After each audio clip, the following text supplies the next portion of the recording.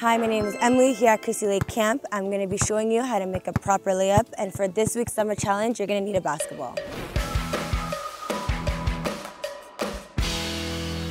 Okay, so what you want to do is dribble all the way to the box. At the box, you want to take your first right step. With your left foot, you're going towards the net.